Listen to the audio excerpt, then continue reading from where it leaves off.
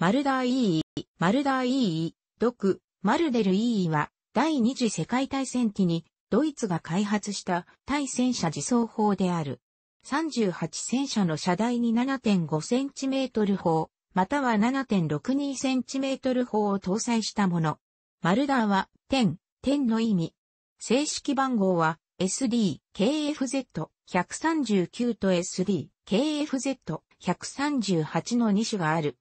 資料によって、表記はマーダーもしくは、マルダーとなる。なおマルダー E の名は、1943年11月19日に、ヒトラー自らがこの系列の自走法をそう呼んだことから、1944年2月1日から正式にもそう呼ばれるようになったものである。バルバロッサ作戦の初期段階からドイツ国防軍は愛号対戦車自走法や牽引法ではなく機構部隊に追従できる対戦車自走法の必要性を実感していた。1941年の終わりには、例えばソ連の T-34 や kV-1 などの登場により、この課題は喫緊のものとなった。この問題の解決策として、旧式化して前線で通用しなくなった規制の戦車を改造するか、もしくはその戦車の生産ラインを転用して対戦車自走法化する案が採用された。チェコ製の38戦車をベースとしたマルダー EE 系列は、この一連の自走法化計画のうちの一つである。1942年の終わりまでには、大量の38戦車は戦力として陳腐化していたが、自走法の車台としては他よりも適していた。さらに、ソ連軍から大量に六角した回 -2276.2mm ヤ砲があったため、この砲を改造して38戦車に乗せることが試みられた。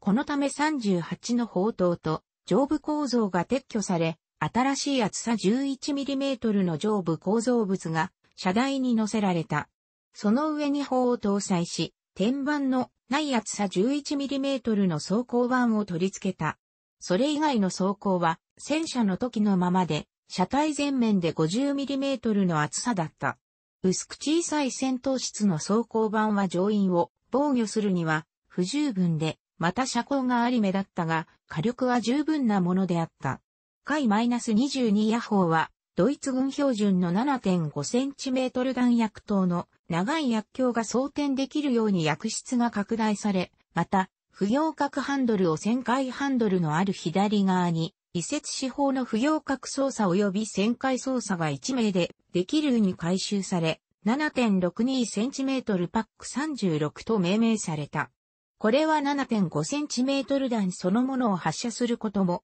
できたが、弾頭に後継調整用の金属製バンドを装着せず、射撃した場合、後継の差の分空いた隙間から発射ガスが漏れ、またライフリングへの食い込みが浅いなどの問題で、威力と精度は低下してしまった。捕獲品の 76.2mm 弾頭に、ドイツ製の 7.5cm 薬莢を組み合わせた弾薬等の生産量は6340発と少なく、多くはパック44の 7.5cm 弾薬等が用いられたようである。主砲弾は30発搭載され、元々の戦車用車体に搭載されていた 7.92mm 機関銃も引き続き装備された。1942年2月に試作車が完成した。この自走砲は SD、KFZ、139ポンツァーチェーガー38、FR7.62cm パック36、7.62cm 36式対戦車砲、搭載38対戦車自走砲と命名された。1942年4月から11月の間に 38G 型用の車台を流用して176両がそれ以降はエンジンを140馬力の EPA-2 に変更した H 型車台を用いて170両、H 型生産開始後の1943年2月から11月の間にも72が製造され、また、推定84両が既存の38から改造された。次の派生型は、標準の 7.5cm パック43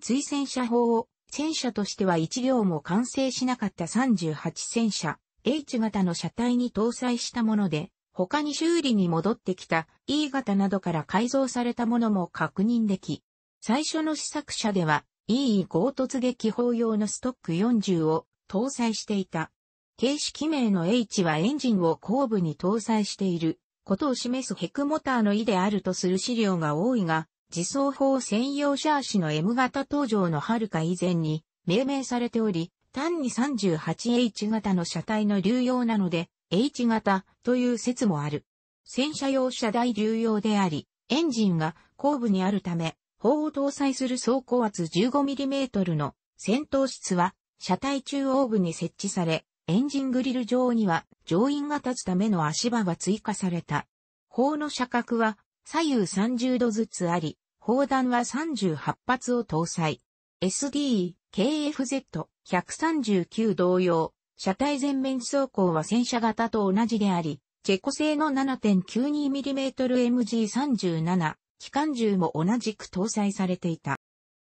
このタイプは正式には SDKFZ138 7.5cm パック40 3アウフ PZ KPFW38 オースフ H 7.5cm 40式3型対戦車砲搭載38対戦車自走砲 H 型と命名され1942年から1943年の間に418門が製造された。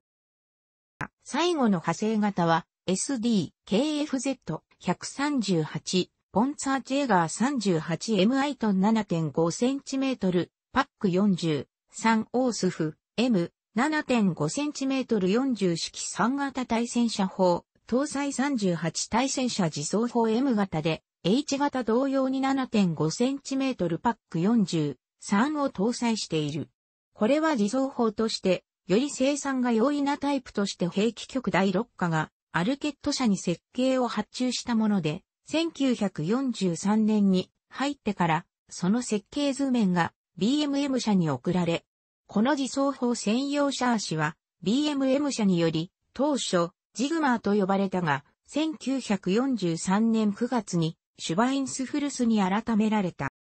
自走砲専用車台では戦闘室が後部に移動しており、これはグリレ系型や38対空戦車、L 型と基本的に同じものである。M 型という形式名はエンジンを中央部に搭載しているミタルモターの意とする資料もあるが、一時期 7.5cm パック40搭載38式自走砲 M 型エンジン前方という、この説と矛盾する名称だったこともあり、単にこれら自走砲専用シャーシの形式名で K、L、M と続いているだけという説もある。生産初期のエンジンは以前と同じプラガ AC150HP だったが、アルミ合金製エンジンブロックとターボ付きのプラガ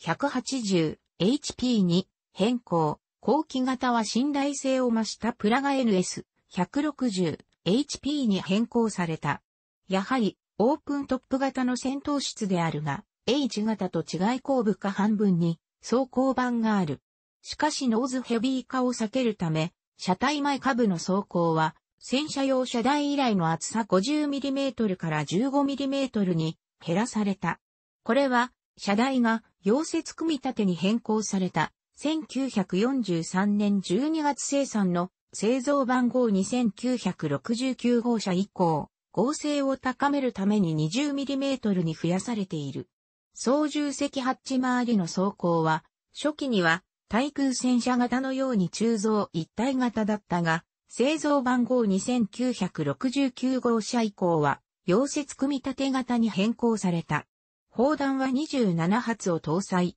また車体に機関銃のマウントがない代わりに MG34 か MG42 を車内に搭載した。工場前で撮影された一両には戦闘室壁面及びパイプに装着された重化が見られるが、実戦での使用例は確認できず、試験のみに終わったと考えられる。M 型は1943年5月から1944年の6月までに、マルダー E 系列サイトの942門が製造されている。なお車体が小型で弾薬搭載数が少ないのを補うため、グリレ系型同様に武装を撤去した弾薬運搬車が試され、これは兵員8名を輸送することもできたが、1両が自走砲型から改造されたのみであった。マルダー EE は戦争中あらゆる戦場で使用された SD、KFZ139 は主に東部戦線で使用されたが、いくつかは北、アフリカ、チュニジアで運用された。H 型も東部戦線やイタリア、西部戦線での使用が主であったが、ごく少数がチュニジアにも送られている。また1945年2月の時点で350門の M 型が運用され続けていた。これらのマルダー EE は国防軍と武装親衛隊の両方で装甲的弾兵師団や後に国民的弾兵師団の戦車両兵大隊に配備された。また空軍にもヘルマン・ゲーリング師団などに配備されている。すべてのマルダー EE は実績ある38戦車の機構を用いており、機械的な信頼性があった。搭載下方も優秀な 7.5cm パック43追戦車砲であり、投入条件によっては十分に連合軍戦車と渡り合えた。マルダー EE の弱点は生産性の低さである。車高が高いことから発見されやすく、被弾もしやすい。それでいて走行が薄いため敵に対する正面からの投入はできなかった。さらには、天板がなく、背後も開放されたオープントップ形式のため乗員の保護が不十分だった。対戦車砲がそうであるように砲爆撃に弱く、不評価機によって制圧されかねなかった。結局のところマルダーシリーズは戦車や突撃砲の類ではなく、機動対戦車砲とでも言うべき性格のものであった。原則的に受動的な戦闘に用いられ、牽引砲に比べて迅速で柔軟な陣地転換を可能していた。